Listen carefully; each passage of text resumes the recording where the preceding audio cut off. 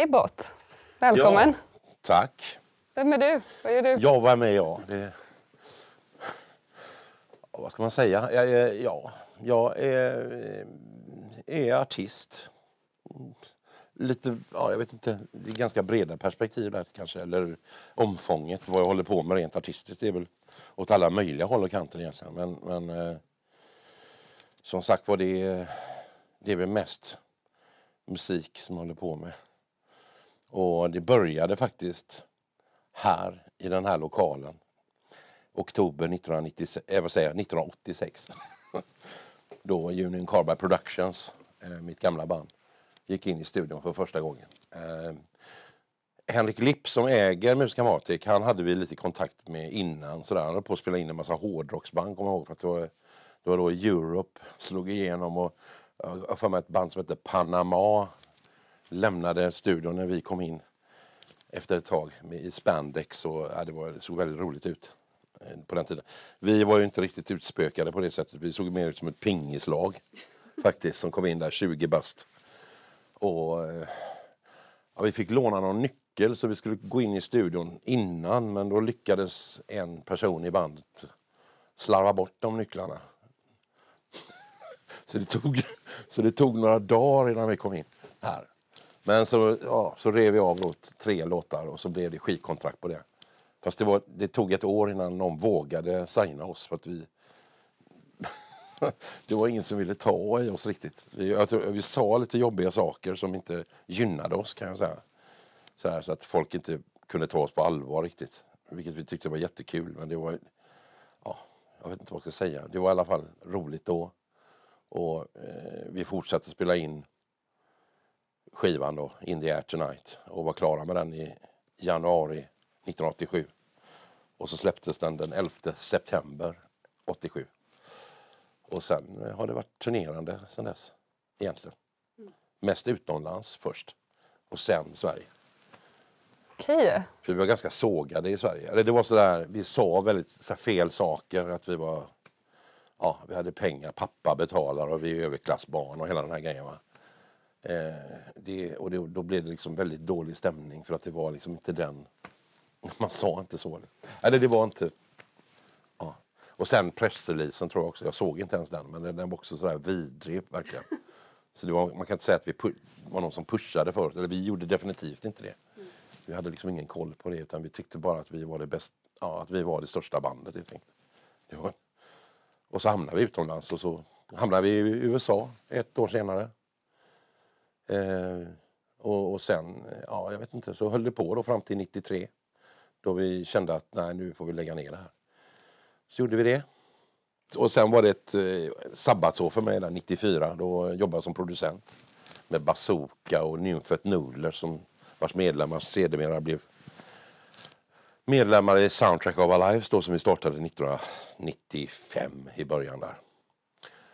Och då var vi nere här nedanför Musicamatic och spelade in i någonting som heter Impress Sound nere på gården. Och där gjorde vi första och andra skivan. Men den som blev Grammy-nominerad i USA och sådär, det var, det var den tredje skivan och den, den gjorde vi här i Musicamatic.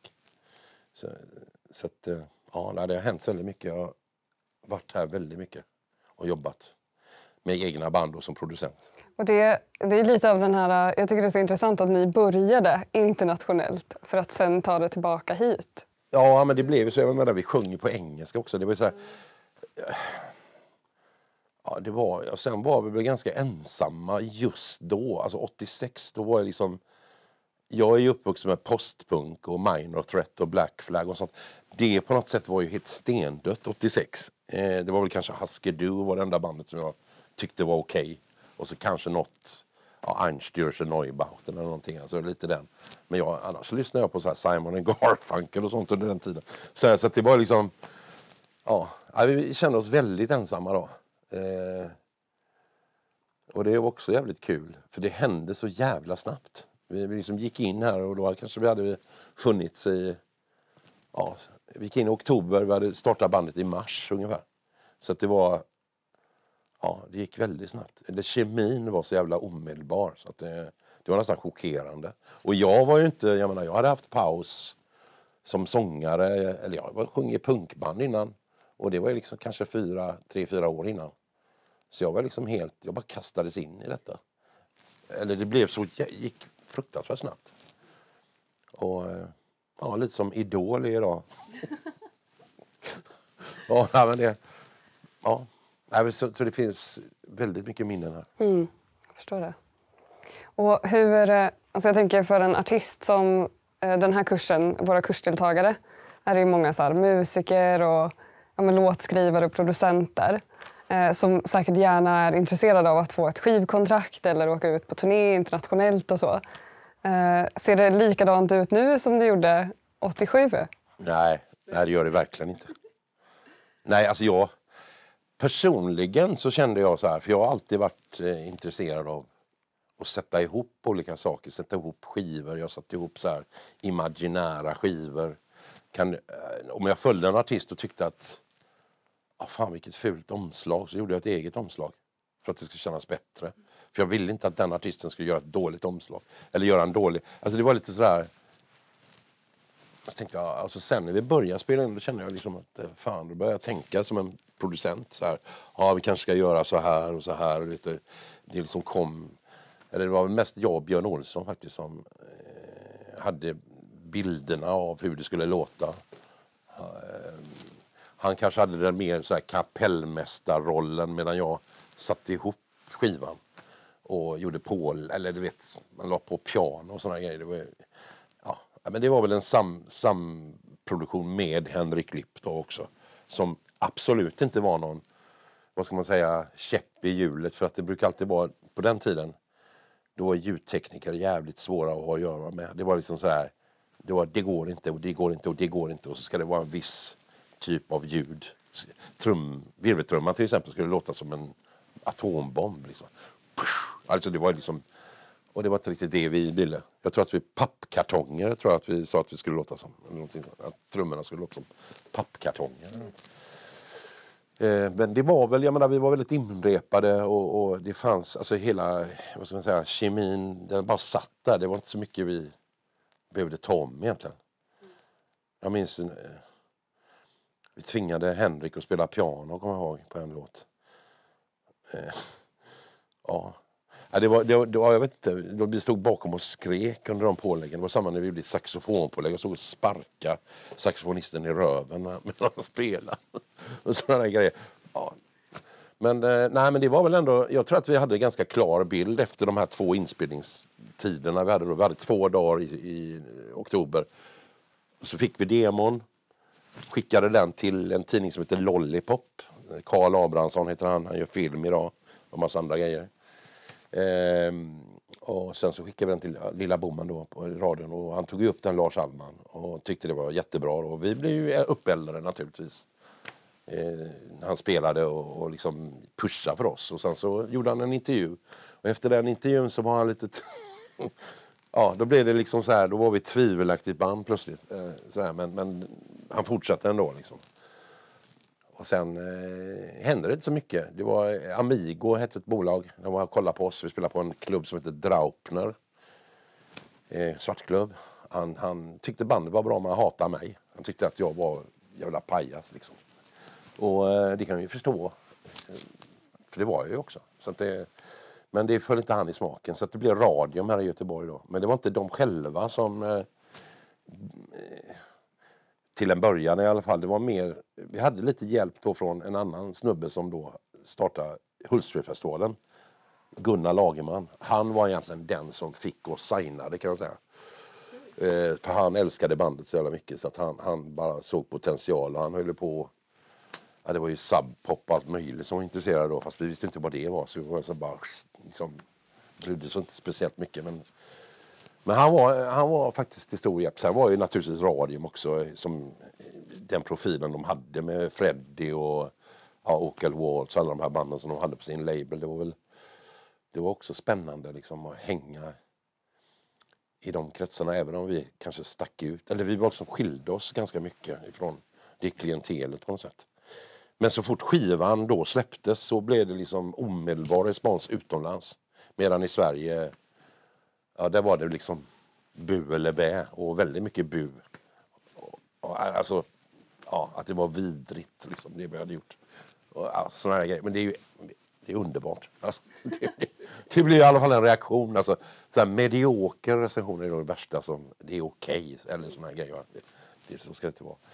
Nej, så det, och så åkte vi ut i Europa och sen hamnade vi i USA. Och så eh, skulle vi spela in andra skivan. Och då kom vi i en svacka. Då blev det liksom alla hoppa av i bandet och det var bara, bara jag och Lipp kvar i studion under ett tag. Men vi rodde i land det i alla fall och sen så fick vi eh, ja, vi lyckades sätta ihop den och sen så fortsatte vi. det, det, har varit mycket känslor i den här studion, inser jag. Ja. Alltså vi, vi, eh, vi gjorde eh, ja, andra och så tredje från, från Influence to Ignorance. Alltså då, då när 80-talet slutade så bytte vi lite, vi gick lite, lite lugnare, eller vi var trötta på den här högoktan rock. Eller liksom, så vi liksom gjorde en lite mer poppigare platta. Den var väl närmare soundtrack egentligen. Eh, och då kom grungen helt plötsligt. Då var det plötsligt det som vi hade precis lämnat blev liksom stort. Och vi liksom, plus att vi hade tackat nej till subpop. Så, och det gjorde också att vi liksom, vi bara såhär, ah, men fan är det här för jävla skämt? Eller liksom, vi på något sätt bara tappar sugen. och så, men då, eh, radion då som var skivbolaget, de gick i konkurs. Köptes upp av MNV Vaxholm. Och de hade kanske inte, lite, de hade inte riktigt koll på vad vi höll på med. Men de hade hört att grunge var inne. Och det tyckte inte vi. Så de föreslog att vi åker till Chicago och spelar in med Steve Albini. Och eh, jag, jag menar, vi var väl sådär... Vi var inte sådär... Det var inte wow. Jag hade hellre varit här kan jag säga, jag själv. Men, men så var det också så här, ja men det är ändå skönt att åka till Chicago tänkte jag. och då spelade vi, vi hade lite live-gigs med så här Jesus Lizard och vad det var, Laibach också. De var, det var under kriget i Slovenien, eller Slo eh, Jugoslavien. Så de var ju liksom fugitives, de var ju på rymmen. De kunde inte komma hem till sitt land. Så de, var, de var där också. Bland annat då så spelade vi in med honom. Eh, och vi var väl ganska, då var det ju liksom, då hade vi börjat tröttna på varandra ganska rejält. Så att vi var ganska splittrade då. Så det blev, lite, det blev liksom ingen Även om det kanske inte hörs, jag vet inte. Den är ju ganska... Jag menar, den är ju... Vad ska man säga? det kanske inte hörs, men, men det, det, var någon slags frustration och vi var inte, så var vi inte nöjda med honom. Mm. Så vi åkte tillbaka och så mixade vi den skivan i Koppom uppe i Värmland då. Eh, swing. Och sen så bestämde vi oss för, för vi skulle göra en jätte-USA-turné 1992. Eh, och då var det ganska, då hade vi liksom, var på gång sådär men vi bara kände att nej men vi gör inte det här, vi gör en avskedsturné istället. Plus att vi hade en massa skulder som vi var tvungna att betala. Så den betalade nästan alla skulder. Eh, den här Sverigeturnén som vi gjorde då, eller Skandinavien och, och vi hade varit i England, och spelat på Marquee också. också sådär idiotgig som, när det var så högt som man inte kunde andas. Kommer ihåg. För att våran ljudtekniker, nej jag ska inte säga för mycket men han var inte vid sina sinnesfulla bruk kan jag säga. Och sen var volymen, oh, jag vet inte hur det är på Monster Jam. Men det, var, det kändes som att alltså hela ansiktet vibrerade. När vi började spela var det kanske 100 pers i lokalen. Sen när vi slutade spela var det tre pers. Nej, det hände en massa jävla miss... Alltså, det gick åt helvete i alla fall. Skitsamma. Men vi gjorde den här skivan i USA och så gjorde vi en avskedsturné och så, och så la vi ner det 93 då. I slutet på 93. Och sen så började jag... Eh, jag började spela in andra band. Bland annat här då. Eh, och eh, bland annat då Nymfet Noodlers och jag kommer inte ihåg, det var någon samlingsskiva jag höll på med också. Eh, lite olika band, jag får tänka, eller jag behöver inte nämna någonting. Men, men jag jobbade som producent här. Och, och, skrev en massa låtar och sen så startade vi Soundtrack of Our Lives då i slutet på 94, början på 95. Och gick in då i studion här nere. Eh, efter vi har gjort demos. Och så gjorde vi den. Eh, och så tog ju det fjutt. Då, då blev vi liksom stora i Sverige kan man säga. Grammy-nominerade. Vi hade varit helt utanför den bilden innan med Carby. Det, fann, liksom, det var bara... Vi hade, vår, nej, men vi hade våra hardcore-fans. Alltså, mm. Det var ju mest uteliggare. nej, men det var, nej, men det, var liksom, det var ett speciellt klientel som gillade Carby som var där. och, och så det. Men vi blev aldrig riktigt stora. Det var väl Golden Age som fick lite radiospelning då. Men annars så var vi ju ganska ignorerade i Sverige. Utan det, det var mer, eh, ja, när vi började med soundtrack då blev det plötsligt sådär wow, superhype. Varför blev det så tror du? du Nej men det var väl att tiden kom ikapp lite eller någonting. Alltså det, plus att Soundtrack of Life var väl kanske lite mer kommersiellt och lite mer melodiöst och baserat på eh, kanske inte bara en genre. För vi var ju i den här underground-genren hela tiden egentligen. Förutom då vissa poplåtar. Men det var ju liksom, det blev ju mer lite bredare, vilket också blev, eller jag framförallt, ja, ja. Man var ju trött på den andra grejen, hållit på med det i sju år. Så, så gick man in i nästa fas, vilket var 18 år med Soundtrack of Life. Så att det, det är ganska lång tid att spela i grupp. Hur håller man ihop? Ja, det undrar jag också. Men eh, jag tror att eh, det väl bara bestämma sig egentligen. Vi hade ju jättemånga kriser men sen kom ju liksom hela internetrevolutionen startade ju samtidigt som vi startade ungefär. Mm. Så då kunde man ju börja mejla varandra istället för att inte våga ha en dispyt. Skrev man till varandra istället. Vilket löste väldigt mycket faktiskt. Ja, det gjorde det? Ja. ja. Eh, och då blev det liksom mer konkret. Eh, eh, men sen, och sen fick vi, liksom, vi fick uppleva hela den här eh, uppgången och Grammy-nominering i USA och även då fallet när då de kickar ut alla rockband och behåller rb artisterna bara. Och liksom, det tar bara slut och sen kommer Spotify liksom. Ja, som en slags, ja Napster, allt, allt det där va. Mm.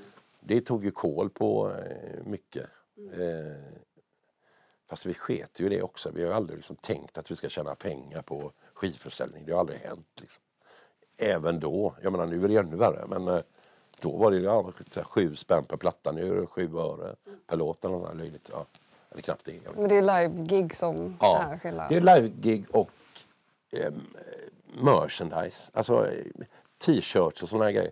Och det var vi jävligt dåliga på kan jag säga. I Carbide så var vi liksom inte alls... Vi, vi kom på det i slutet. Sådär, aha, vi kanske ska göra t-shirts. Alla andra gör ju det liksom eller säljer series. Men vi hade ju inte det i tanken alls. Vi var, vi var väldigt dåliga på det faktiskt. Det kan jag ångra nu. Eller jag kan tycka att det var lite synd. Mm. Ja, sen har jag gått solo då sen 2012. Eller 2013. Och det har varit ganska skönt för då har jag liksom fått kontroll eh, på vad jag håller på med. För jag har alltid liksom tänkt... Jag har alltid släppt kontrollen. Eller jag, den konstnärliga kontrollen har varit jätteviktig naturligtvis. Den har jag liksom bara fokuserat på, inte på ekonomi. Mm. Och har det uppstått så har det liksom bara varit... Ah, man håller på med fördelning och sådana grejer. Eh, men det är väl det. Men sen när man gick solo så då lärde man sig att bli ekonomisk också. Eller tänka i liksom, okej okay, nu är det jag som anställer eller jag tar in ett band eller och har, har den kollen. Jag kan inte påstå att jag har den kollen men jag har ju assistans naturligtvis. Men, men eh, det, är också, det var också en process. Mm. Vilket är, det är skönt att ha, att ha det nu. För att nu. Och det är ganska fritt också. Jag känner, så här, jag känner mig mycket friare. Mm. Då var jag lite låst i grupperna. För att jag hade ändå så här, eller jag kände, jag tog den rollen också. Som ansvarstagande liksom konstnärligt. Mm. Och skulle vara där i, i blickfånget hela tiden. Jag är liksom tvungen till att vara det. För det var så påtagligt. Och det, eh, det kan ju vara ett problem så här, också. Eller det blir det är för och nackdelar. Jag tror inte... Ja. Nej, men just den här, vad ska säga, fördelningen av vad allas roller är i bandet. Den är, det, det, är, det, är, det är ett intressant fenomen det där. Mm. Liksom det, kan man, det, är, det är lätt att man liksom halkar ur det. Det har jag ju liksom sett att man gör det. Och, jag menar, alla, alla lever ju sina liv och parallellt sådär med förhållanden och allting. Så det, det är klart att det blir ett jävla... Det är en utmaning. Mm. Alltså det är verkligen värsta odyssén verkligen. Men, eh, ja. Jag vet inte, jag kan inte, jag, jag, det är som det är. jag, jag, jag ändå, det är ändå skönt att man har kunnat göra detta mm. så länge. Ja. Och jag kommer hålla på tills ja, jag stupar. Mm. Så är det bara. Alltså, hur upprätthåller du balansen mellan att vara ändå ett så stort kommersiellt namn med att så här, du turnerar ju så pass mycket och så här, jordnära spelningar. Alltså jag kan inte säga så här att jag, att jag satt och, jag var någon strateg för det är jag absolut inte. Jag kanske skulle varit det. Men Men eh, det var med att man, jag flöt med i det här turnerandet vilket var väldigt slitsamt naturligtvis. Det är det för alla. Men det är ju någonting man måste göra. Eh, men för mig var det mer att vi inte skulle förlora oss. Och det kände jag att vi gjorde lite med Carbide. Så jag vill inte upprepa det misstaget igen. Eh, även om det kanske inte, när man har gått tillbaka och lyssnat på det så tänker man ju, ja, men det här är ju inte så farligt. Men för mig så kände jag att vi förlorade någonting i slutet. Och, och, och sen avslutet var inte så jävla bra heller. Alltså det var, eh, så att jag tänkte, det vill inte jag upprepa igen. Jag, jag hade inte ens en tanke på att vi skulle bilda ett nytt band egentligen. Men nu blev det så. Och då hade man i åtanke att liksom aldrig släppa kvaliteten på det. Eller just för det är liksom, man utgår ju som ett fan av någon annan också. Eh, man vill inte, eller jag vet inte, jag tycker liksom så här. Alltså det, folk rycker åt olika håll och man ska testa, eh, alltså ha olika viljor och liksom så här. Men jag märker liksom hur alla de här fällorna förstör band. Så, så jävla många band faktiskt. Och det har man ju sett under årens gång, liksom hur, vilka som har försvunnit och varför och sådär. Så att det, tycker jag vi skötte ganska bra ändå. Hela den här dialogen. Mm. Och det blev bra. Jag tycker jag är jättenöjd med det vi gjorde. Alltså det är så här. Ja, då var det slutfört. Ja. Bara, och så fortsätter vi nu liksom. Nu som solo, ja. när du kör. Hur väljer du dina speltillfällen? Ja, alltså jag gjorde ju så innan coronan då måste jag säga. Eh, jag ville inte så här, gömma mig och dyka upp en gång per år eller något och vara lite hemlig och sådär. Jag hade kunnat göra det men jag är inte sån. Alltså jag, jag älskar att uppträda. Och jag upptäckte ju det med soundtrack efter vi hade varit på arenor och sådär. Hur jävla tråkigt det var för jag hatar kravallstaket. Jag hatar att inte ha kontakt med publik. Jag gillar inte, skär, jag gillar inte det. Jag gillar inte det här. Eh, visst, det är häftigt att stå där inför 70 000 och vara kung. Eh, men jag vet inte, det är, det är vissa spelningar som är så. Men, och, så, och då, då hade vi en spelning på Slussens pensionat när vi kom hem från en sån här turné. Och då tänkte jag, alltså då blev jag så här, fick sån chock. Jag tänkte, det här är det bästa jag varit med om. Så jag tänkte, det är ju så här det ska vara. Det här är ju på riktigt, det här är så här in your face på riktigt. Det går liksom inte att, det finns inget som distraherar en utan det är bara en stor jävla känsla. Och då tänkte jag så här, ah, men så här vill jag ha det. Så att jag gjorde en deal eh, med då United Stage. Där jag tog de mindre spelningarna så fick de ta de stora. Mm. Och, jag, och jag, jag, det var nog det bästa beslut jag gjort faktiskt. För att jag, jag är ganska trött på, och det, jag hatar att säga det men det är inte kul att spela på festivaler längre tycker jag. jag tycker det, det är för mycket oro och det, och det är klart att det är oroliga tider nu. Jag menar folk skjuter ner varandra och jag menar efter de här morden som var i Frankrike och det och så kommer corona på det. Alltså, så nu är det ju, och nu är det ju bara små ställen man kan spela på så jag, inte mig emot. Jag tycker bara det är jätteskönt. Så jag har kört på här nu eh, eh, tills det var åtta pers eh, gränsen. Då fick jag ju lägga ner det. Men då hade jag ett, då hade jag skriv, skulle jag skriva musik till en Dramaten-pjäs som jag jobbade med då, så jag hade jobben då. Alltså det är det du har gjort under pandemin? Ja, du har ändå kunnat ja, till, hålla dig... fram till mars i alla fall. Ja. Men sen har jag ju varit då helt eh, ledig. Och egentligen bara spelat in i studion. Mm. Ja. Men har du lärt dig någonting av den här pandemin som du tar med dig efteråt? Ja, alltså jag tycker att det är bra att eh, världen stannar upp. Det tycker jag är skitbra. Att, att det blir någon slags eftertanke i den här vansinnesfärden som vi... Jag menar, alla vet att vi håller på att köra in i väggen. Det är, det är ju liksom verkligen...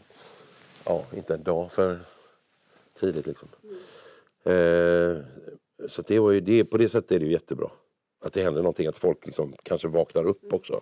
Att det blir en motrörelse i det här. Så att eh, på det sättet, men jag vet inte som musiker, jag vet inte, för mig blir det bara väldigt skönt. Sen har jag under den här tiden blivit av med mina föräldrar också. Inte i corona då, men, men då, det är ålder. Men, men, eh, så att det har väl varit en sån period också. Hur tänker du på du bor ju ändå och verkar i Göteborg mycket och Västra Götaland-regionen. Mm. Hur tänker du på musikbranschen här? Och vad, vad är bra och vad skulle kunna bli bättre? Om man tänker så. Fan vad svårt. Jag är inte i, alltså nu, nu måste jag säga det, jag har ju dratt mig tillbaka, eller det har ju de flesta gjort kanske under corona men mm. jag har inte varit i det så mycket eller varit engagerad i branschen Förutom att man har en ganska eh, vad ska man säga, konservativ syn på kulturliv överhuvudtaget. Man, det är fortfarande så att man, vad ska man säga, regeringen eller politiker eller vad man ska säga, de tar inte kultur på allvar. Det är precis som att ja, men ni har ju bara kul eller ni leker ju bara. Ja, men det är inte det vi håller på med riktigt. Alltså, det är ju som sjukvård, det hela ju människor. För fan. Ja, men det här är ju liksom, folk vill, för att överleva måste de ju för fan ha musik. Det är, så är det ju. Så, så har det alltid varit sedan urminnes tider. Så jag förstår inte den ekvationen riktigt. Hur de tänker. Men det är människor som aldrig har levat utanför sin cirkel så det blir lite svårt också. Så det måste ju ske en förändring där tycker jag, absolut. Eh, eh, och sen, alltså det är ju bra att alla kan göra musik också men det blir ju väldigt trångt. Så att eh, men jag känner väl också att musik ska ju vara det ska ju vara det det har varit alltid. Det är ett helande syfte någonstans. Så att det, det är väl tillbaka till tribes igen. Inte mig emot. För det känns som att det är mer balans i det. Att man liksom går tillbaka till det tankesättet på något sätt. Eh, och liksom, ja. Men sen tror jag också, oavsett vilken genre man håller på med, man hittar alltid sina fans. Och det är ju fan, tack vare fansen man finns eller man kan hålla på. Så Hur det, hittar man dem då? Ja, de dyker upp från alla möjliga stenar. Liksom det, det, ja, men det, det, jag menar, jag, nu har jag hållit på ett tag så det liksom har ju vuxit. Har ju, publiken har ju förändrats. För mig förändrades det ganska mycket när jag gjorde Så mycket bättre och gick in i tv-grejer. Alltså just när man började göra tv-grejer, då, då, insåg man liksom vilken jävla genomslagskraft det har. Eller om jag hade gjort en långfilm. Jag menar, eh, eller någonting sånt. Va? Det, det, den median har ju verkligen eh, ja, den har förändrat. Sen vet jag inte om det är till det bättre. Jag menar, eh, ja, det kanske är Förut hade jag väl en viss typ av publik, nu är det liksom alla möjliga spektra. Men hur hanterar du det? Ja. Jag bryr mig inte om det. Alltså, jag är bara glad att de är där. Alltså, det spelar ingen roll. Jag menar, det, det, jag vet inte riktigt... Jag störs inte av det alls.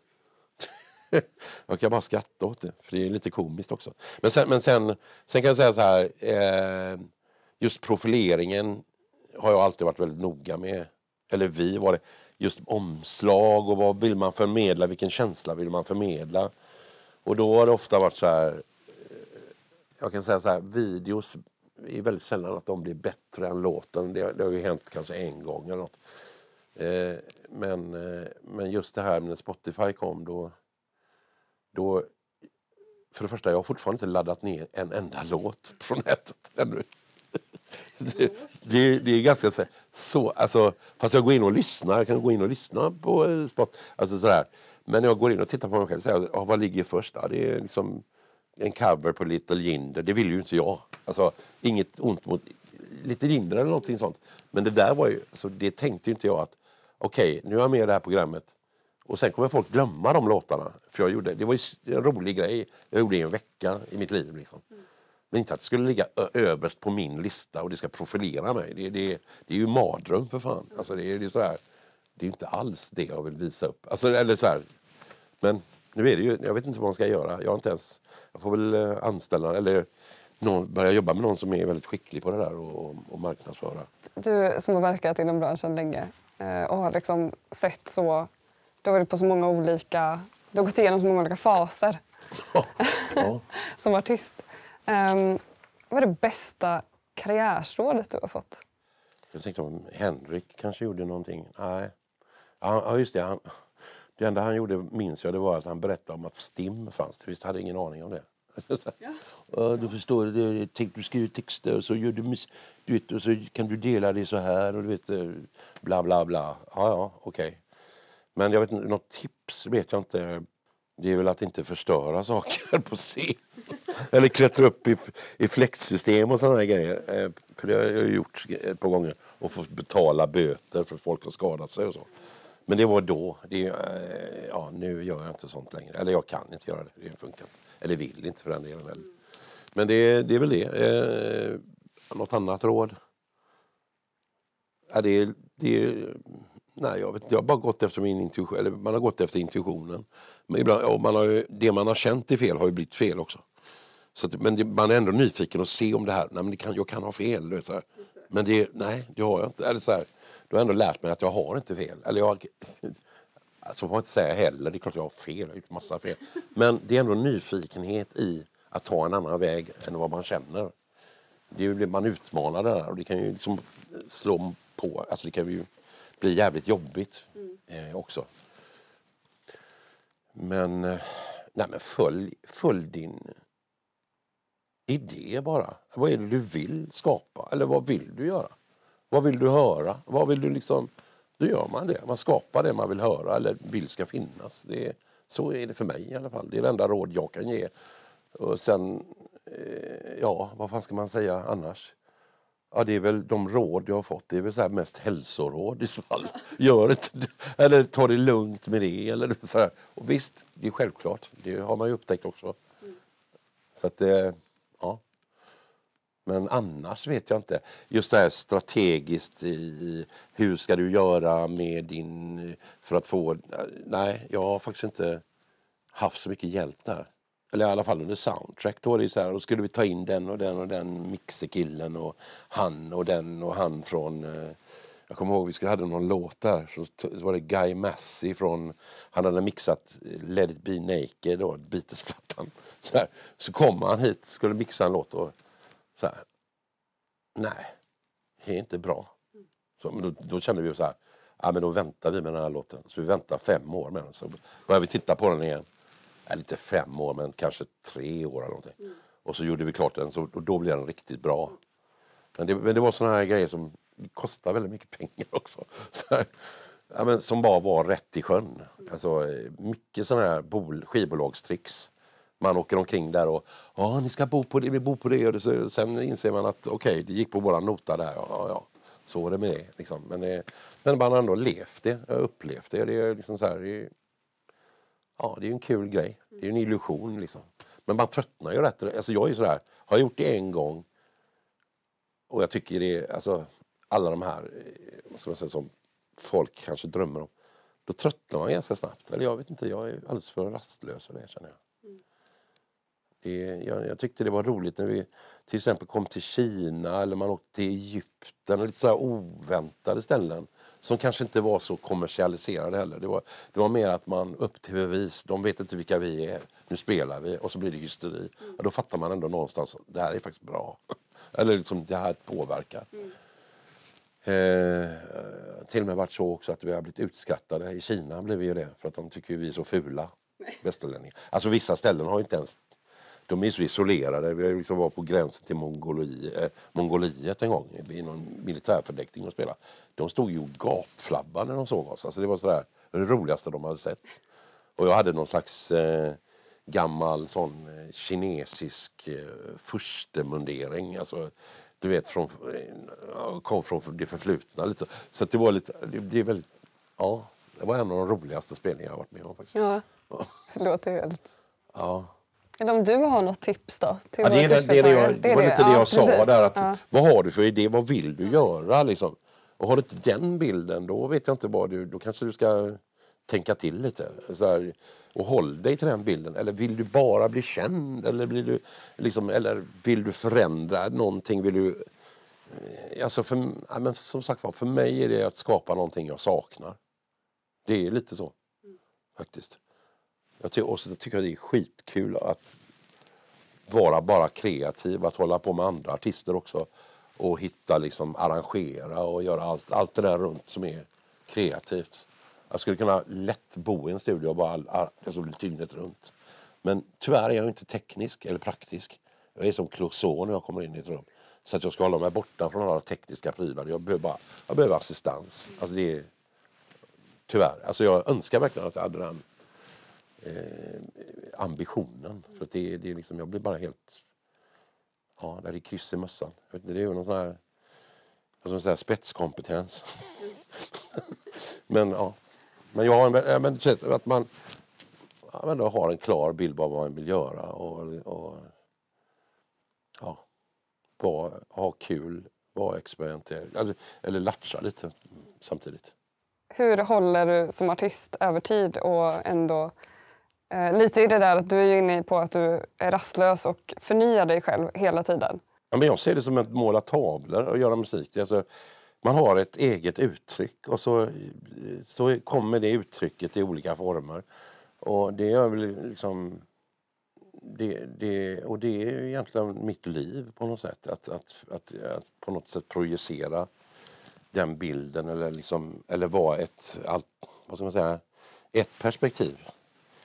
Så, där jag liksom fyller ett tomrum kanske, förhoppningsvis. Mitt eget tomrum också naturligtvis. Så det är ju egentligen bara en, e-, en energi som måste ut och det är, det är med hela min existens. Får, inte jag, får jag inte den energin då, då eh, tynar man, alltså jag tror jag skulle tyna bort. Eller jag vet inte vad jag skulle göra. Börja dyka på heltid eller någonting. Eller någon, någonting sånt. Alltså. Men, men eh, nej, det är ju en kick också. Det är ju liksom någon slags... Det är ju... Ja, alltså psykologin i det, den är ju otroligt stark. Alltså. Eh, och just eh, hitta den förmedlingen på något sätt. Hur mycket har du saknat publikkontakten nu som är så viktig för dig under själva pandemin då till exempel? Ja, jag måste säga det, under de tre månaderna, jag in, nej vänta, nej det var fem månader. Eller halvår säger jag till. Då kände jag det. Fan vad jag saknar publik. Eller just att den här bara, eh, och nu hade jag en spelning ganska nyligen. Och det var, då, då kände jag liksom att hela självkänslan var nästan lite borta. Tänkte. Och jag skulle gå på, eller jag, jag, jag, brukar vara så här att jag gör det på volley, de ringer. Nu var det så här, då ringde de dagen, dagen innan jag skulle spela. Så här, ja, kan du komma och spela? Och jag tänkte, ja, klart kan jag göra det. Så här, då brukar jag bara dra dit med en gitarr och så kör jag och så sitter allting. Men nu gjorde det inte det. Nu var det så här, det jag och Pontus var det var, trummisen. Och då blir det så här, fan jag kan inte sjunga. det, det går inte. Vad fan, det här låter ju för jävligt. Jag kan inte spela någonting. Det var bara, kände jag är körd. Liksom där, efter tre första låtarna. Men det var egentligen bara ljudet och allting. Man hade inte soundcheckat eller någonting så det liksom lät jävligt konstigt. Men sen efter halva konserten då tog det fjutt och självförtroendet kom tillbaka. Men det var ändå sådär, fan vad jobbigt. Så då insåg jag liksom att ja, det får inte bli för långt uppehåll alltså. Det, det, det är ändå en lifeline där, eh, verkligen. Vad tänker du om klubbdöden? Ja, det är ju tråkigt. Ja, men det är ju alltid, det är, det är alltid kul att hänga på klubbar, det tycker man ju själv. Jag menar, det är... Men jag har ju blivit sån här... Jag drog mig ut till kusten och spelade, spelade, på, spelade på kustställen som är så här bekväma. Eh, det är väl det jag har gjort de senaste åren. Eh, så jag har inte varit så mycket på klubbar. Jag, jag känner att jag har fått nog av det. Tyska småklubbar. Nej, men alltså det, ja, det, men jag, tror, jag hoppas att det kommer tillbaka. 300 kapaciteten eller mindre? Ja, mindre, så här 100 tycker jag. Så här, schysst. Alltså jazzhuset var ganska bra när det, när det rullade på. Eller, ja, det var väl, vad hette det som låg på Kungsgatan? Det var ju Underground var ju bra. Och Valvet kommer jag ihåg också. det var mycket så här och så och så alla svartklubbar som fanns också. Det var ju magiskt att spela på dem. Hur tror du att musikbranschen kommer att förändras? Hur ser framtiden ut? Alltså, jag vill inte ens säga bransch, för jag gillar, inte, jag gillar egentligen inte ordet bransch. Jag tycker inte det ska vara, om man, för jag är så pass idealistisk, så jag vill inte jag vill inte att det ska vara en bransch. Jag tycker inte, det ska inte vara business. Det ska vara underhållning. Det ska vara en, en oas för människor. Det är det det handlar om. Liksom. Människor som behöver något, alltså rensa hjärnan eller vad fan som helst. Liksom, det ska finnas där bara. Jag gillar inte att det är en bransch och så jag gillar inte att det har blivit en vetenskap heller. Liksom att det blir, ja, man, referer, man refererar sönder saker och börjar liksom eh, gå in och ska liksom hacka upp det i olika eh, fack. Och, ja, det, blir, det blir liksom... Det är inte, då blir det inte musik längre. då blir det något annat. Då, blir det så här, då börjar folk tänka helt för ja, men han, aha, han sa det, det var kanske inte... Ja, men, du vet, det blir någon slags... Jag vet inte, magin försvinner. Jag tycker det är roligt. Det ska bara vara vad det är liksom. Och så får folk gilla det eller hata det. Liksom. det vad fan. Så är det med allt. Så jag gillar inte, branschen tror jag inte kommer överleva överhuvudtaget. Jag tror inte det kommer vara en bransch. Jag tror att alla kommer vara sin egen eh, smed lite. Jag tror att, för att om man nu ska följa teknologin som den är, men nu går ju den så jävla snabbt. Så att den går lite för snabbt för att vi ska kunna fatta vad det är som händer ens. Mm. Så att frågan är vad som händer med världen snarare än vad som händer med musikbranschen. För den rycks ju med i allt det här och det blir något slags kaotiskt soundtrack till allting. För det är ett jävla sammelsurium nu egentligen bara. Och allting är random. Så det är egentligen, allting har blivit schizofrent. Så det, det, är snarare, hur fan hittar vi balansen igen? Liksom? hur hittar vi det? Vad man ska, känslan av att liksom på, på ett lugnt sätt bara kunna njuta av någonting. Hur hittar vi balansen? Ja, det är det vi försöker, jag försöker klura ut det. Ja, det är precis det jag håller på med nu, den här nya plattan. Eller lite så, det, det kommer liksom ha med det att göra. Eller jag vet inte, det, jag är inte sån som skriver folk på näsan men man får lista ut själv lite vad det här kan handla om. Men det, det är, alltså det är en intressant tid vi lever i. Den är skrämmande också men den är, det är också väldigt intressant. Så att jag undrar, musik kommer ju alltid finnas så länge det finns människor. Så att den är jag inte orolig för. För vi är musik egentligen. Men fan, vi, vi består ju av vibrationer så att det, det är ju musik allting egentligen. Vi fattar inte det bara. Det är, politikerna fattar inte det. Nej, men, så att, så att, eh, nej, den är jag inte orolig för. Men sen branschen, kan inte svara på det. Det ser inte så ljust ut kan jag säga. Just branschen då. Men musiken, den kommer alltid leva. Tack så mycket Ebbot. Tack själv.